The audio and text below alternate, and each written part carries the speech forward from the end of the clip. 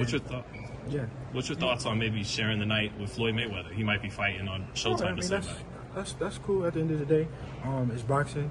You know, um, Floyd been in the sport for a while now. Um, you know, it's my time. Whether he's fighting on that night or not, I think a lot of people still gonna tune in because it's a real fight right here. This is a this is big time boxing. Um, the best fighting the best.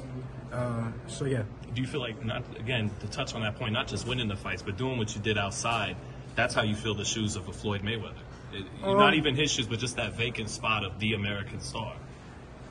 I don't know. I just want to keep beating whoever they put in front of me. It don't. It, uh, it doesn't matter about none of that. Matter to me most is winning, going in the ring, and uh, a guy can talk all day and go in there and put on you know a bad performance or not look good. So my my goal is to go in there, put on the best performance, get better and better each fight, and uh, go in there and uh, beat Regis Prograis.